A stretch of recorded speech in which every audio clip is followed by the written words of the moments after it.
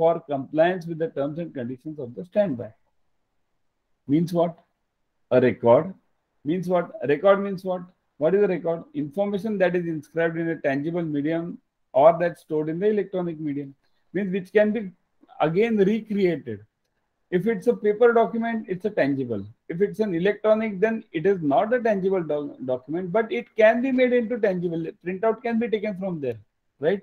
Is retrievable, it means in the perceivable